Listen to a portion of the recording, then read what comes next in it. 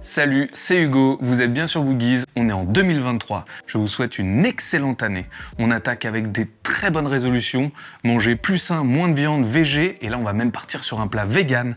Alors j'espère que vous l'avez, la dalle, car aujourd'hui, on fait un dalle.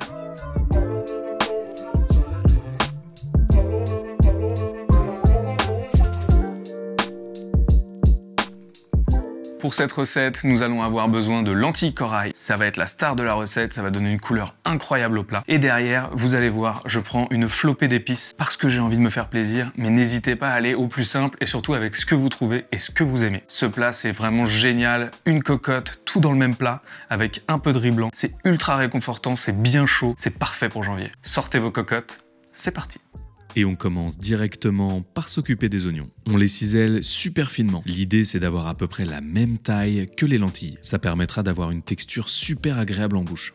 On peut mettre de côté et on s'attaque au gingembre. Attention, âme sensible s'abstenir. Pour moi, la vie est trop courte pour enlever la peau. Je vous conseille de le râper à la microplane ou alors de le couper très très très très très finement. Ah, l'odeur du gingembre, c'est incroyable. Et donc on enchaîne avec son meilleur copain, l'ail. C'est vraiment un duo qui cartonne en cuisine. On le râpe également très finement. Ça permettra de bien incorporer les saveurs dans la préparation. Et on enchaîne avec les stars de la recette, les épices. Je vous propose ce mélange, mais vous pouvez faire celui de votre choix.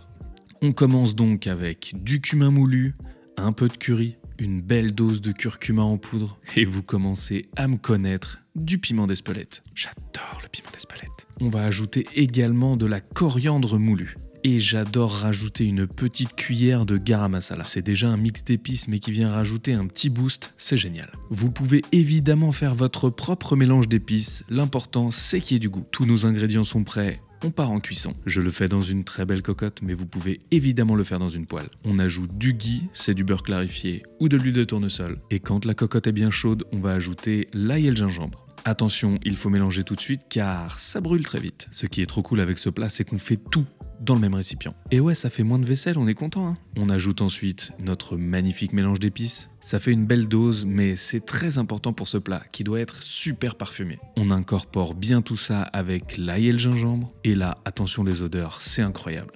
On ajoute ensuite notre oignon ciselé et on fait revenir tout ce petit monde 2 ou 3 minutes à feu doux pour ne surtout pas brûler l'ensemble. N'hésitez pas à rajouter un tout petit peu de matière grasse si ça commence à accrocher.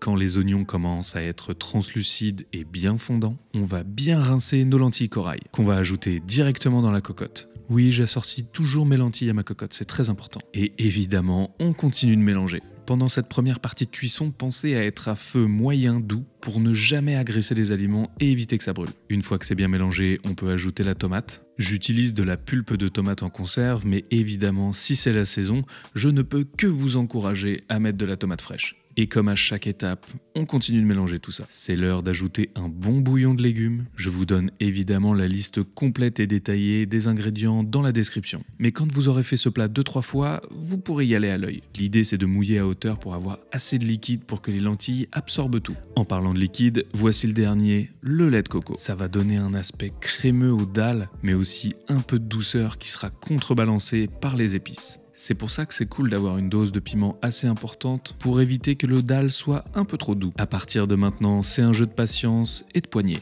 On va rester pas trop trop loin de notre dalle et le mélanger régulièrement. On veut un joli petit bouillon pendant 20-25 minutes. Ça dépendra de la texture des lentilles que vous souhaitez. Moi j'adore quand elles sont encore un tout petit peu al dente. Donc faites-vous votre propre idée et testez régulièrement les lentilles. Il faut que le liquide est assez réduit pour avoir cette belle texture. Je suis un gros fan de coriandre donc je vais en mettre une tonne, mais si vous trouvez que ça goûte le savon, n'hésitez pas à mettre les herbes fraîches de votre choix, de la ciboulette ou de la nette par exemple. Mais quoi qu'il arrive, je vous en conjure, mettez des herbes, ça change tout. Ça va apporter beaucoup de fraîcheur au plat. Lorsque votre dalle est bien chaud, bien fumant et parfaitement cuit, on va pouvoir passer au dressage final. Je vais servir le dalle avec du riz. Comme j'en mange très souvent, j'ai un autocuiseur, ça change la vie. Si vous n'en avez pas, voici la technique. Un volume d'eau froide et un volume de riz dans une petite casserole, à feu vif jusqu'à ce qu'apparaissent les premières bulles. Lorsque ça bout, on couvre et on met à feu super doux. Au bout de 8 minutes, on coupe le feu et on met de côté et on laisse reposer 10 minutes. Vous obtiendrez ce riz parfaitement collant. C'est vraiment idéal pour les plats en sauce. Non mais regardez-moi cette beauté là. C'est bien crémeux mais pas trop liquide. On se sert donc une bonne louche de dalle bien chaud, voire même deux louches de dalle bien chaud. Choisissez une assiette creuse, ça vous permettra de faire un dressage très sympa. Depuis que j'ai vu Shanice le faire sur sa recette Insta, je l'accompagne tout le temps d'une bonne huile pimentée. Vous pouvez retrouver la recette juste ici en haut à droite. En plus de développer des saveurs et des arômes encore plus sympathiques, c'est super canon sur le dressage. Il ne vous reste plus qu'à ajouter votre maxi dose d'herbes fraîches, et je pense qu'on est bon pour la dégustation. Vous allez découvrir ce mélange parfait entre le riz, la douceur de la coco, la saveur des épices, la fraîcheur de l'herbe et le piment de l'huile. Et comme on est des petits fous, on déguste ça avec un nan. C'est un pain plat indien. Oh là là. D'ailleurs, pensez à vous abonner parce que c'est la recette de samedi prochain. Oh j'espère que cette recette vous aura plu. Comme vous avez vu, on peut se claquer ça avec des petits nanes, évidemment avec une cuillère, c'est parfait aussi. Pensez à vous abonner, ça nous donne de la force et ça nous aide à aller encore plus loin dans ce qu'on fait et dans des projets les plus fous. D'ailleurs, en janvier, on arrive avec une vidéo de malade. Soyez prêts, on va traverser l'Atlantique. Alors, cliquez ici, là. Vous pouvez également liker ou poser toutes vos questions en commentaire, ça donne de la force et moi je réponds à tout le monde. A très vite pour de nouvelles recettes. Bon appétit, ciao